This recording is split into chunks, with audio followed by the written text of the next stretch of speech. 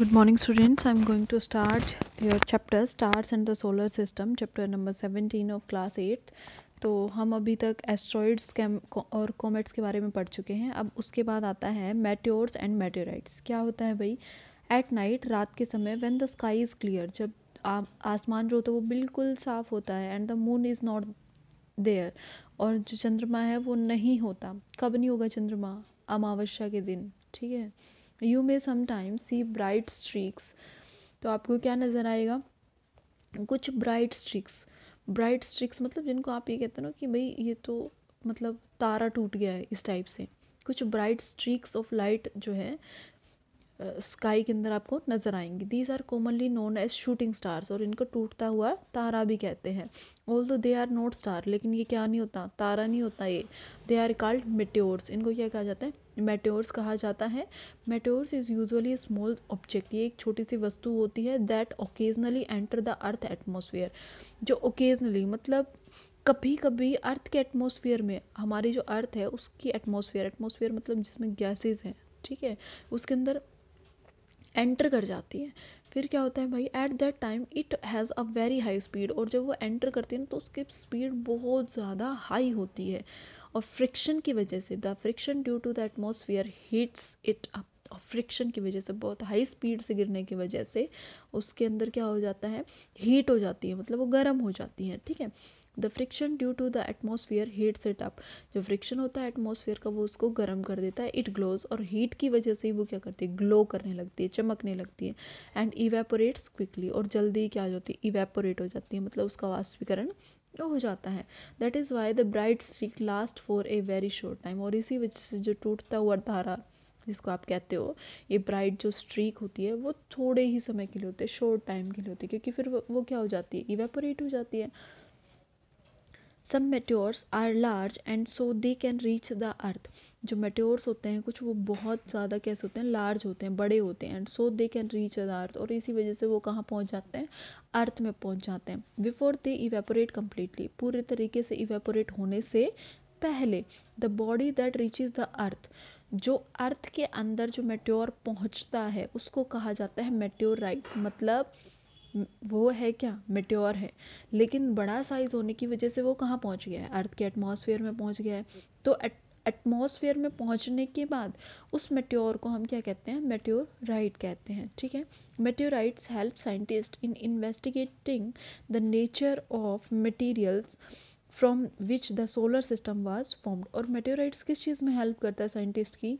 ये चीज़ पता लगाने में कि जो नेचर है सोलर सिस्टम का जो नेचर है कौन कौन से मटेरियल उसके अंदर यूज़ हो रहे हैं और उनका कैसा नेचर है, उसके बारे में पता लगाने में साइंटिस्ट की हेल्प करता है। नेक्स्ट टॉपिक है आर्टिफिशियल सैटेलाइट्स आर्टिफिशियल सैटेलाइट्स मतलब जो कृत्रिम कृत्रिम उपग्रह होते हैं उनके बारे में। कृत्रिम उपग्रह कौन से होते हैं भाई? वो उपग्रह जो कि नेचुरल नहीं है, प्राकृतिक नहीं है, जिन्हें हम बनाते हैं। ठीक है? You must have heard that there are there are a number of artificial satellites आपने सुना होगा कि हमारे पास बहुत सारे क्या हैं? कृत्रिम उपग्रह हैं which are orbiting the earth जो कि अर्थ के चारों तरफ़ घूमते रहते हैं। You might wonder how artificial satellites are different from natural satellite. आपको जानकर आश्चर्य होगा कि जो आर्टिफिशियल सैटेलाइट है, ठीक है, वो कैसे अलग है नेचुरल से, प्राकृतिक से, वो कैसे अलग है? Artificial satellite are man made वो हमारे द्वारा बनाए गए हैं, ठीक है?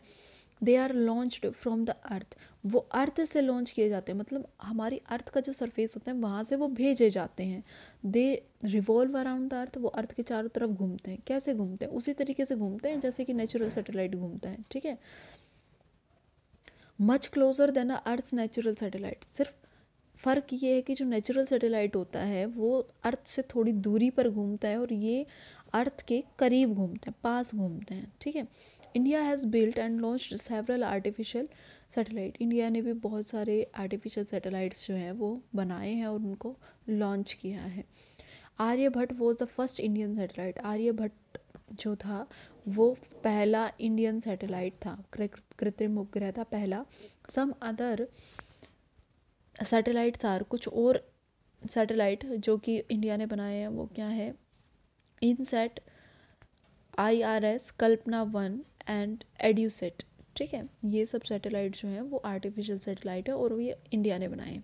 Artificial satellite have many practical application जो आर्टिफिशियल सैटेलाइट है, उनकी बहुत सारी प्रैक्टिकल एप्लीकेशन है। मतलब उनको प्रैक्टिकली काम किया जाता है उस पर थ्योरी पढ़ने का उसमें इतना कुछ नहीं है जितना प्रैक्टिकल है।